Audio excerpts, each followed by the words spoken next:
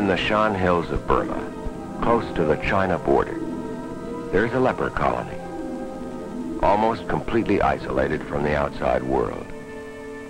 But its fame has spread beyond the mountains and across the frontiers. And the people come, walking often for weeks and months. They're outcasts, not permitted to live among their fellow men, because they are lepers and children of lepers.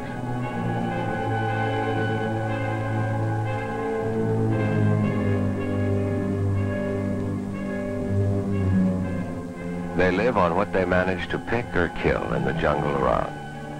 Berries, insects, wild plants. Huts made of branches help protect against the monsoon rains and chill mountain nights.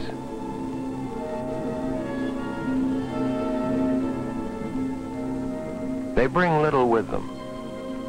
They have little to bring but their pain, and hope that at the end of the road there will be help. Ahead lies Keng Tung Leprosy Colony. For those who live here, for hundreds of miles around, Keng Tung Colony has come to be known as the Happy City.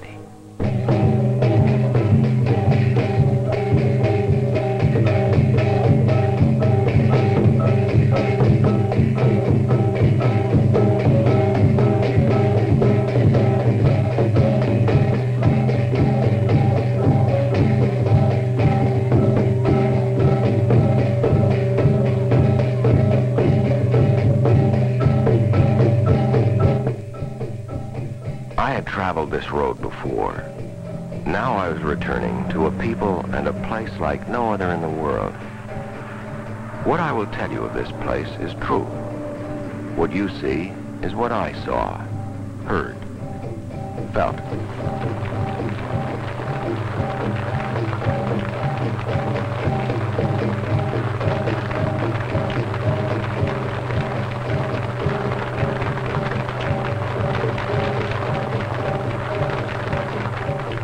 I had not expected a welcome such as this.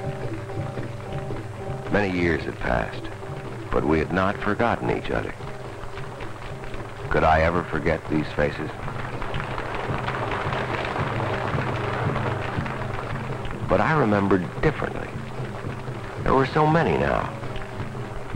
And what had become of the stained and filthy rags? The vacant stares of despair?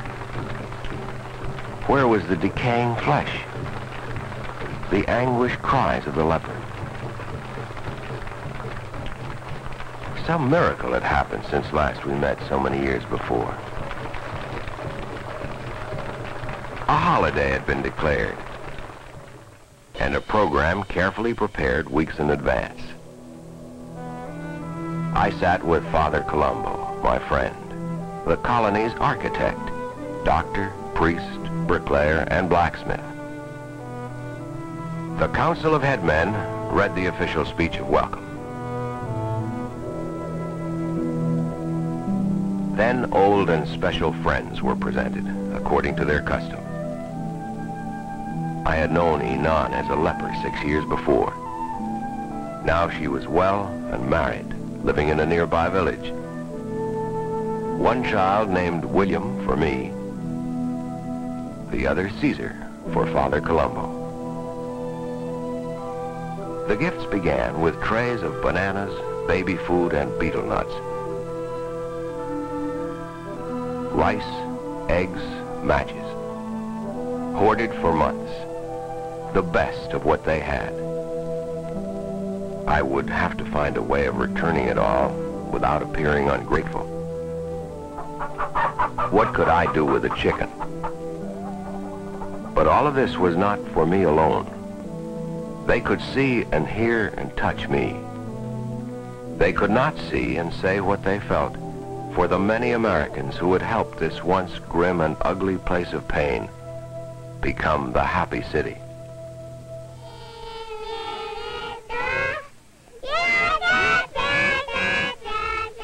The show began with the children.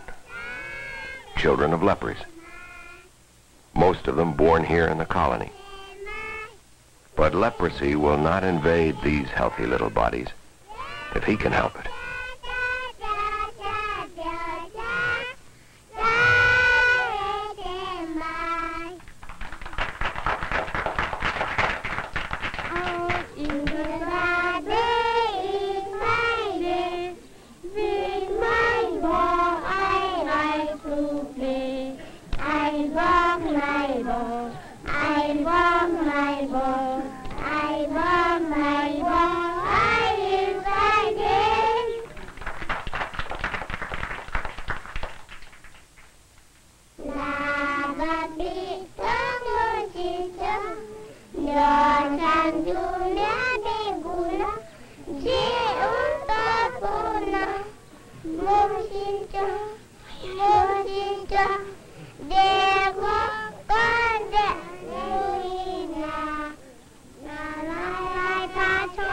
The costumes, made by the sisters from cloth sent from the States.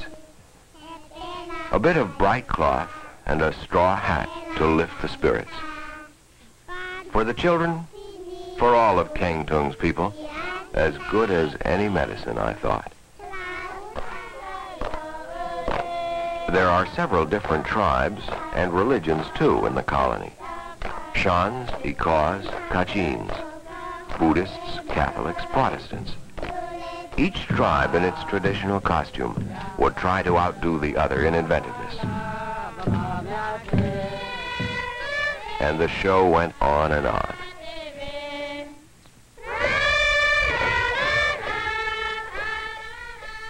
Father Colombo brought in the bullocks which had been fattened for the feast. Once or twice a year, he's able to provide meat for the colony. They were tied where all could see and admire them for a few hours and sympathize with their inevitable end. Two bullocks will provide a few ounces of meat for each of the 1,500 people of Keng Tung Colony. Nothing will be left. Everything is eaten, including the skin. Meat is a luxury in a place where there's usually not even enough rice to go around. The colony depends completely on rice for its sustenance. The problem of providing sufficient food for survival is one he faces daily. The feast was soon underway. I wondered how long they had been on short rations saving for all of this. I marveled at the way they looked. Pa Shen was a pretty girl by anyone's standards, yet she was a leper. I worried about Father Colombo. He looked so tired. But it would be useless to say, take care of yourself. There was no self.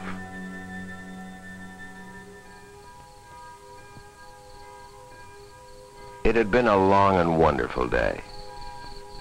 As night fell suddenly over the hills, the curfew bell told its warning. For with darkness, there was danger now. The joy of the day was gone, and in its place was fear as people hurried to their houses. Hidden in the hills beyond, in the jungle and darkness, were marauding guerrilla bands. Terrorists, insurgents, communists, and others bent on revolution, on separating these Shan states from the Union of Burma. The Burmese troops, nine or ten of them assigned to duty in the colony, took up their positions for the night.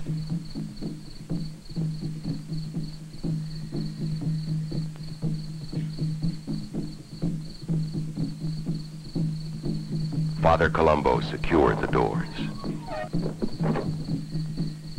His army gathered.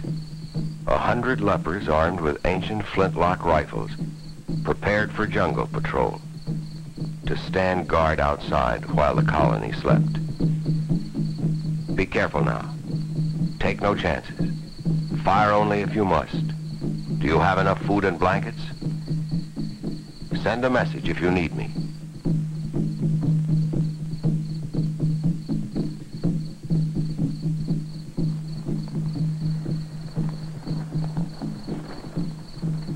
Watched the valiant little detachment move out to watch and wait for the enemy. There were mornings when they did not all come back.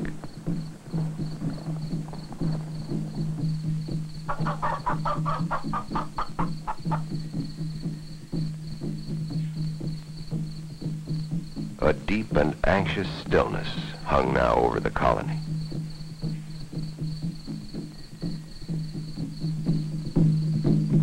Colombo's army took up positions in the jungle.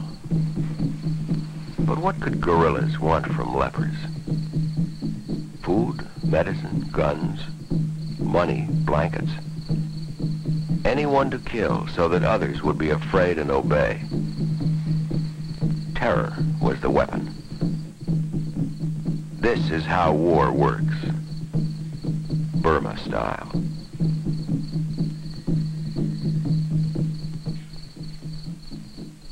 At midnight, Father Colombo made his rounds to see that all was well. That this place should have to face terror from without. What strange irony, I thought. In the morning, we walked through the colony. There were so many new things he wanted me to see. New families to meet. Look at this face, he would say. It was so distorted a year ago you wouldn't have recognized it. Isn't it marvelous what the new leprosy drugs can do? Look at her face. Wonderful improvement. But I wish we'd been able to do something sooner. He was so proud of their progress, of life returning to paralyzed hands, of the children he was proud of the way they had learned to work. Timber for building must be soaked for a year or more before it can be used. The soaking discourages termites and other insects which would quickly destroy a building. The men are paid for their work. It's not really necessary and the amount is very small. But Father Colombo believes that it is important in maintaining morale, in helping them feel less like outcasts and more like useful, needed, honest workmen.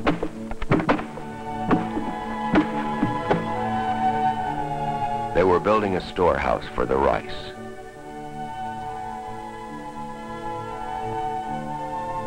Colombo, the master carpenter and patient teacher, providing strength and experience where it was needed, teaching a craft to a people who knew little more than how to build a bamboo hut when they came here teaching skills by which they can live when they leave here.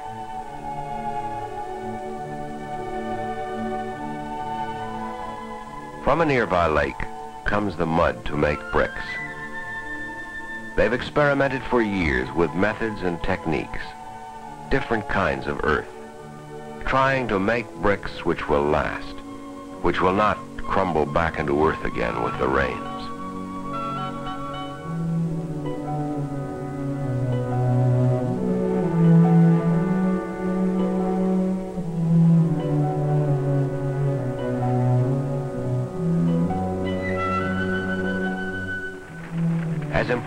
What they are accomplishing is the fact that the will to learn, to work, to build has been given to a people often without even the will to live when they came here. It took three years to make and bake enough bricks for the colony's proudest accomplishment, the new hospital. I'd often see him stop for a moment to gaze and admire it as if it were something marvelous to behold. And indeed it was. Built by the people themselves. Every block and brick made here in the colony. The money from America, the work by the lepers. Cooperation. For 15 years he had operated outside under the sun, because there was no shelter clean enough and with light enough for surgery, and no means of building one. Now at last there was an operating room and a proper table to lay a patient on. He had trained the sisters himself to assist at all kinds of surgery. This was a simple appendectomy.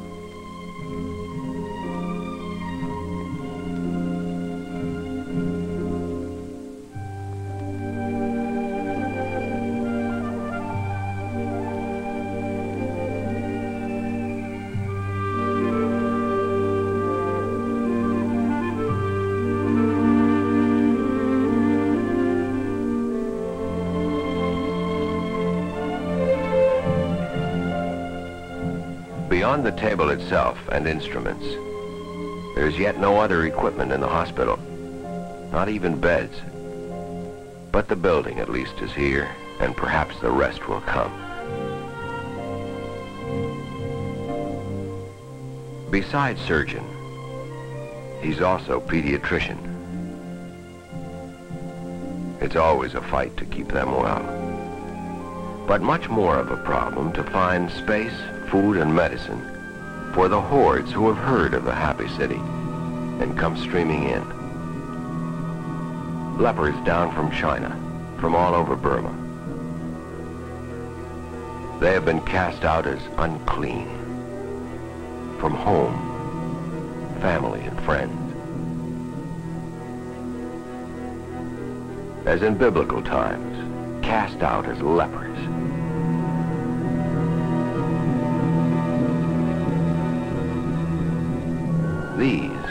Only a handful of the 12 million forgotten, hidden, uncared for lepers in the world today who can be cured. He would take care of them all if he could. Where have you come from? How long have you been traveling? The touch of his hand offers hope that their journey can be over for they cannot return to the place from whence they have come.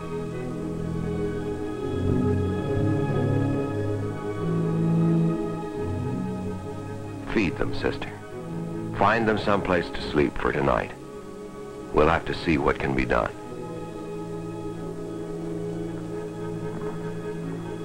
When last I visited here, I did not see how he could take in another single person. Yet in six years, the colony has doubled in population. But how to feed them? Already the rice ration is cut to survival limits. How to cure them? What to do? So little to do with. Somehow he manages, takes care of them all, and Keng Tung flourishes. They gathered on the porch of the dispensary the next morning and waited.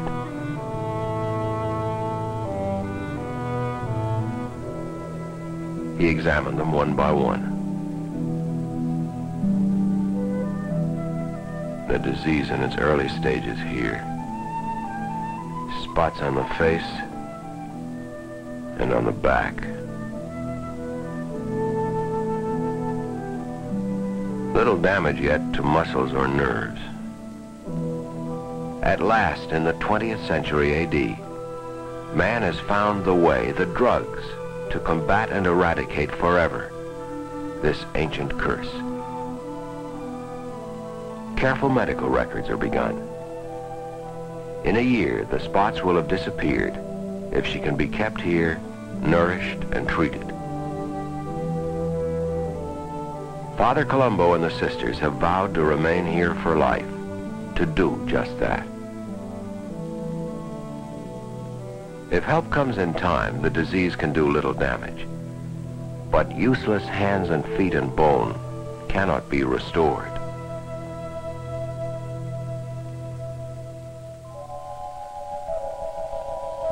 Among the newcomers is one addicted to opium.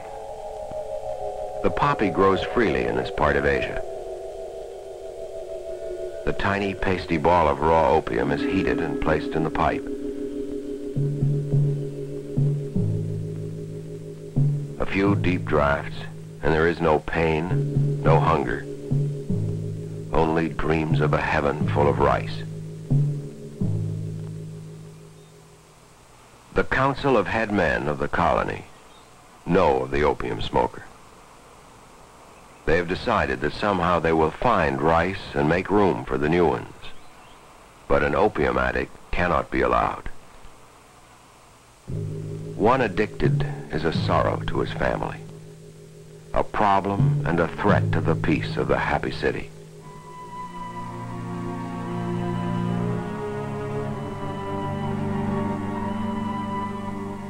But I can stop any time, they always plead. You can't do it by yourself. It's impossible. I'll help you if you'll try. Otherwise, you must leave. IPAN knows what lies ahead.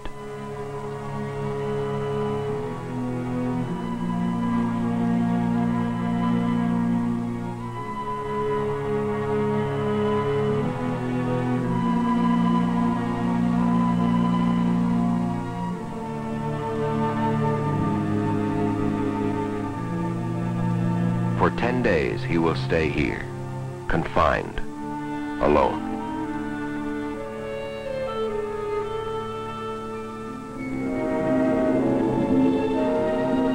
Ten days of struggle, of torture, of mental and physical pain almost beyond imagining.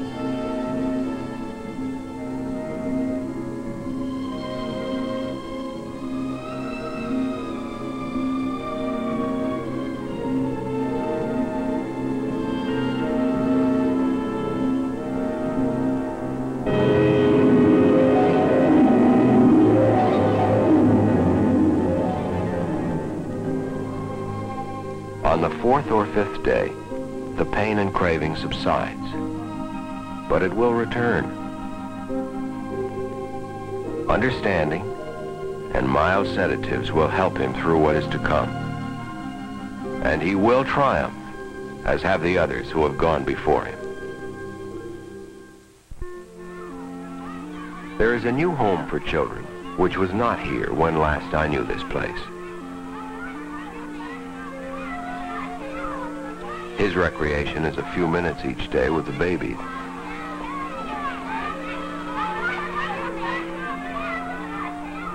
Before the nursery was built, children born in the colony were sent out to live with foster families. Few survived. 92% died before they were three. Now it is different. Children are separated from their parents to avoid possible contagion but kept here in the colony. Given anti-leprosy vaccine, loving care. And they have every chance of growing into normal, healthy adults. The child mortality rate has dramatically reversed itself. Now, over 95% live. Sister Maria cares for over 250 children in the nursery. The problem of getting three-year-olds to take a nap seems to be the same the world over. I wondered, though, what would have become of these children if this building were not here? Would they be among the 92% to die? I suspected they would. How much life depended upon a board floor and a roof, I thought. There was a sudden baby boom in progress. Over a hundred born in the last ten months. The question now was where to put them all.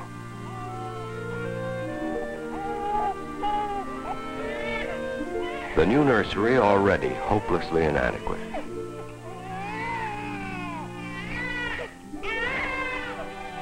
The care and love they provided in abundance.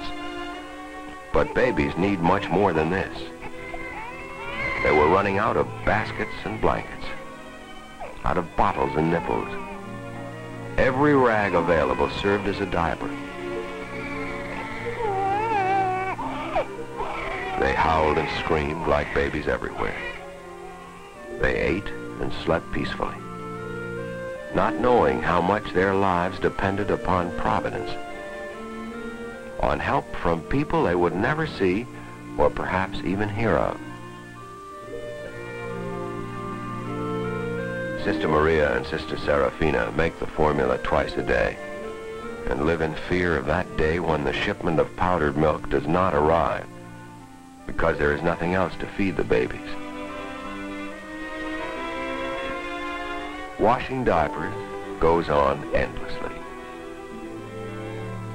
But perhaps even more needed than a washing machine are better means to educate the growing number of children.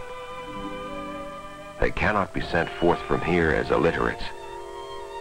There must be a real school, a full-time teacher, and books. But all of this must wait until still more pressing problems are dealt with.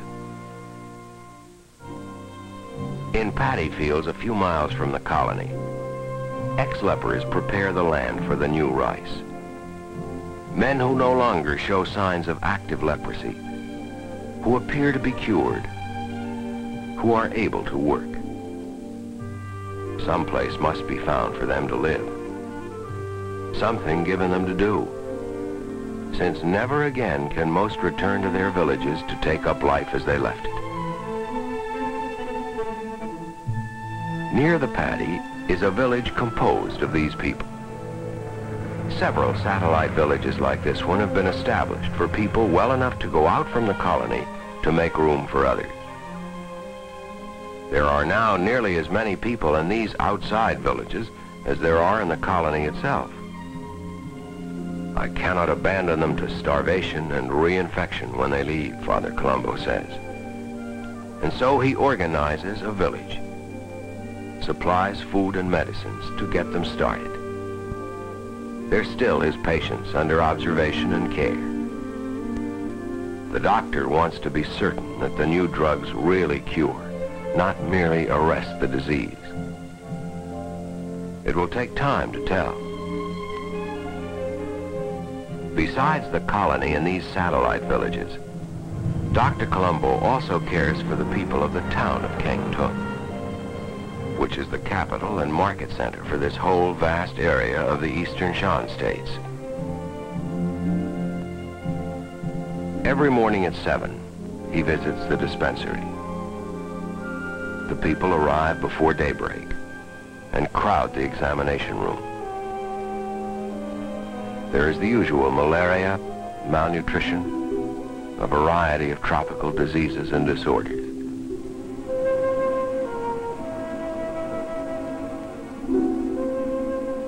Sometimes leprosy is detected in its early stages among those who are not even yet aware that they have the disease.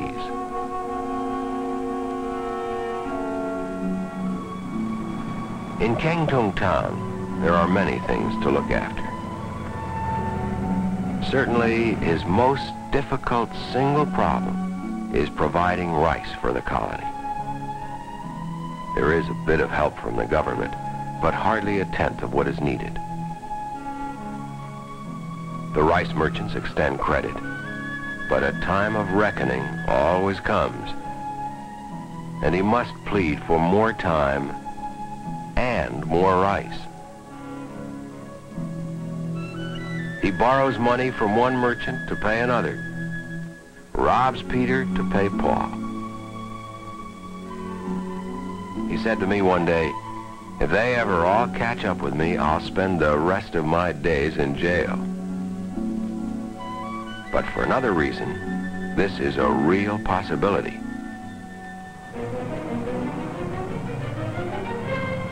All vehicles are stopped and searched. Aiding the terrorists is punishable by death.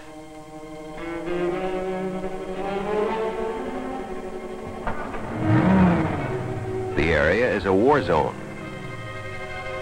Bullock carts constantly smuggle food and arms to the insurgents. Villagers who are now considered insurgents have been his friends for years. They need him too. He treats them. But this is treason.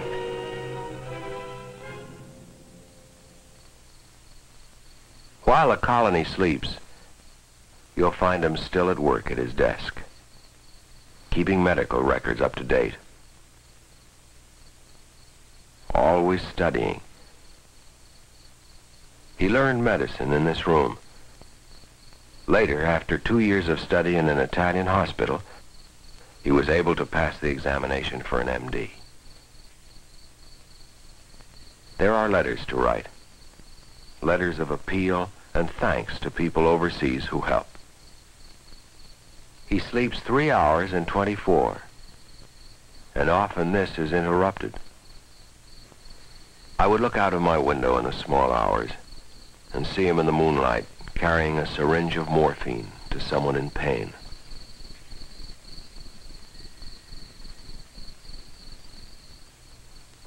Threats from the insurgents continued, sometimes dramatic. One letter contained a bullet, which meant there would be killing. A feather, which said it would be quick. The charcoal was obvious. The colony would be burned to the ground unless demands for money and food were met.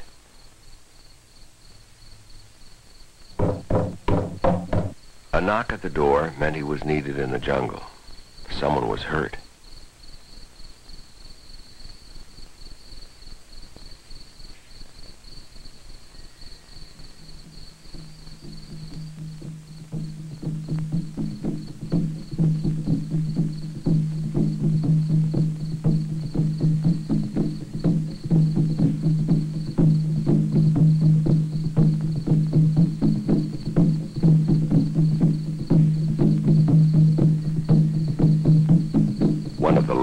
Guards killed. Two insurgents captured.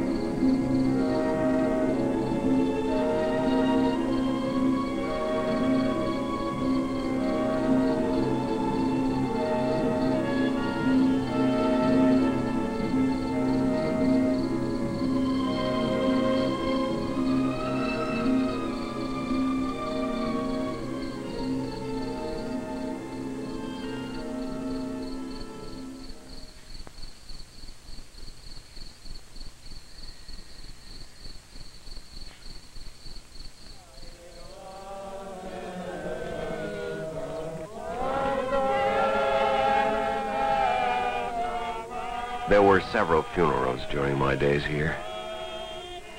Grief and a terrible sense of loss would descend upon us all. Each life here was desperately fought for and hard won. This was not the way to see one end.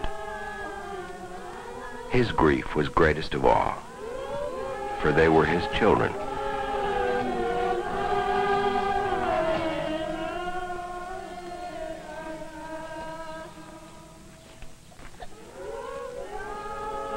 I worried, as I knew he worried, about who would bury them when he was no longer here. There was no one. Was there another man like this man? To be sure, he will live here forever.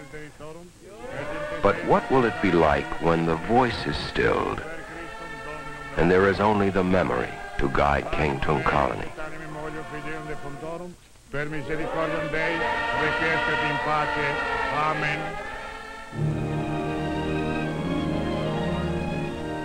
When the time came, I wasn't quite ready to leave. But my life and work was not here.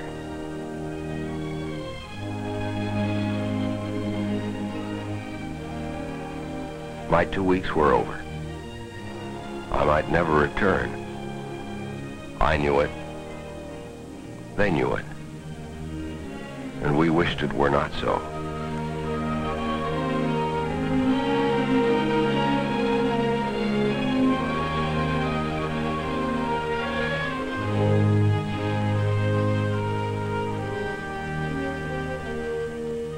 I said goodbye to the sisters, and perhaps for the last time, looked through those soft, deep eyes into that noble heart.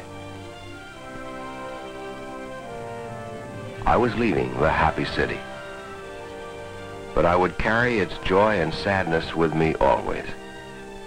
And I hoped something of the spirit of Colombo of Kengtung.